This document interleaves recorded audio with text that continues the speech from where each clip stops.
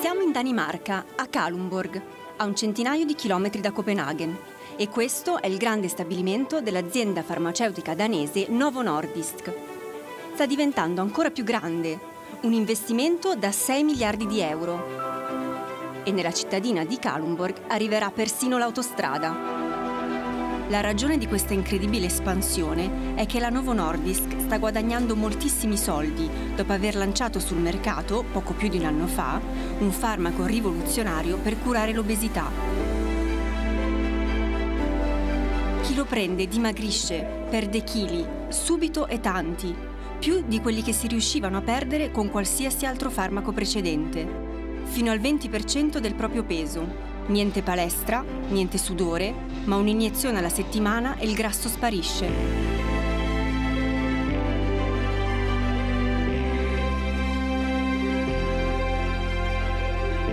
Novo Nordisk produce farmaci per il diabete da più di cent'anni.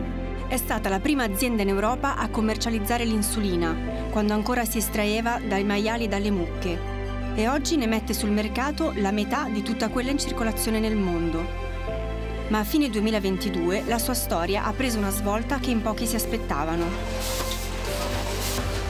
Tutto grazie a quest'uomo, Jens Juhl Holst, classe 1945, professore di fisiologia medica all'Università di Copenaghen, consulente per anni della casa farmaceutica e uno dei massimi esperti di diabete al mondo. La migliore di tutte è quella medaglia lassù, la medaglia Benting. È il premio più importante che si possa ricevere per la ricerca sul diabete.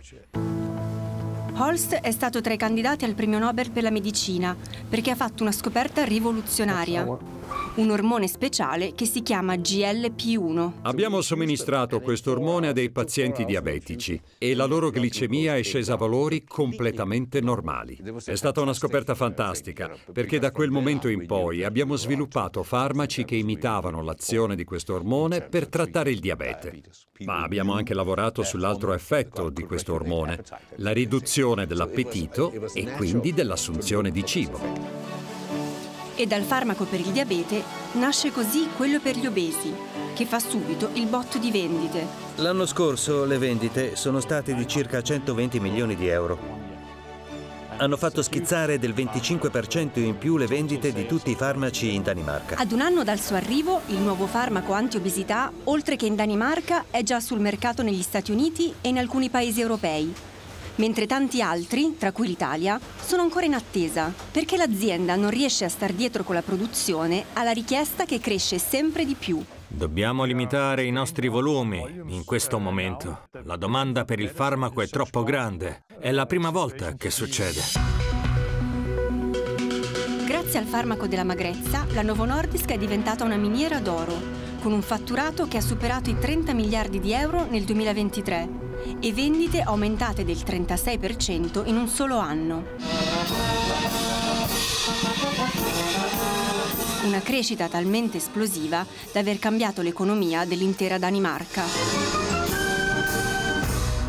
Questa è la Danske Bank, la più grande banca della Danimarca. E lui è il direttore, l'economista Jens Pedersen. Se non avessimo avuto Nova Nordisk, saremmo al pari di molte altre economie europee che non sono cresciute molto nel 2023. Alcune sono andate addirittura in recessione. Ma grazie alle vendite di Novo Nordisk, la nostra economia è cresciuta intorno all'1% l'anno scorso ed è la prima volta che la crescita di un'azienda ha aumentato il PIL di un intero paese. La crescita della Novo Nordisk ha fatto saltare anche anche gli indici della borsa danese. Hanno dovuto limitare il peso di Novo Nordisk nell'indice generale, altrimenti ci sarebbero stati solo loro. Ecco quanto sono grandi talmente grandi che per stare dietro alla crescita di Novo Nordisk, la Danimarca ha dovuto cambiare persino la propria politica monetaria. Novo Nordisk esporta molto, soprattutto negli Stati Uniti. Significa che ricevono molta valuta estera e quando la convertono in corone danesi, il valore delle corone sale troppo. È dovuta intervenire la Banca Centrale danese che ha fissato tassi di interesse più bassi rispetto a quelli della Banca Centrale Europea per garantire la stabilità della valuta. Che cosa significa per l'economia reale? Pensiamo per esempio ai mutui. Senza l'intervento della nostra Banca Centrale sarebbero cresciuti. E sul mercato della cura dell'obesità ora ci vogliono entrare tutti Come ci racconta il giornalista Soren Linding, editorialista di Finance, uno dei maggiori giornali economici danesi. C'è già un'azienda americana, Eli Lilly, che ha lanciato un farmaco simile contro l'obesità. Alcune proiezioni dicono che è un mercato che vale intorno ai 150 miliardi di euro. È davvero il mercato su cui puntare in questo momento? Sì, perché ci sono più pazienti che farmaci. Normalmente succede il contrario. Si inventa un farmaco e poi si cerca di promuoverlo e di dire a tutti i medici di base che è un farmaco fantastico. Qui sta accadendo l'esatto contrario. Sono i pazienti che vanno dal medico e gli dicono questo farmaco è fantastico, lo vogliamo. Non ci importa che sia rimborsato dallo Stato o dalle assicurazioni. Paghiamo di tasca nostra. Non era mai successo prima. La crescita della domanda del farmaco è così impetuosa da mettere a rischio i conti delle assicurazioni sanitarie private. Sugar for Sikringen Denmark è la più grande e assicura quasi la metà dei danesi. A partire da gennaio 2024 ha smesso però di rimborsare il farmaco. Non riescono più a stare dietro ai costi e anche i conti della sanità pubblica sono messi a rischio dal nuovo farmaco per la magrezza. Questa è la sala dove si riunisce il Consiglio regionale. Lì si siede il presidente. Anne Rød è consigliera del Midtjylland, la regione centrale della Danimarca ci racconta che sono cresciuti di moltissimo i rimborsi per il farmaco contro l'obesità. Sono passati dal 20% al 60% del totale.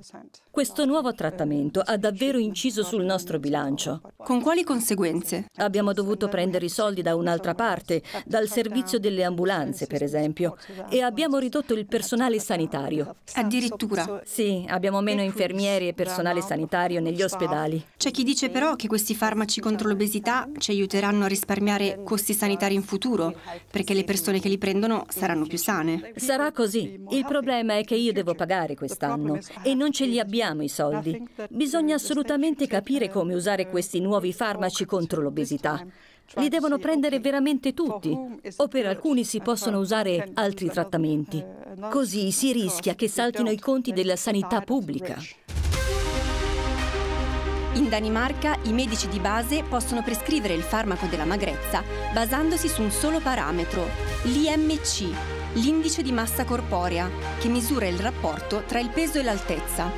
Se è superiore a 30 lo possono prescrivere, un criterio che copre quasi un danese su 5.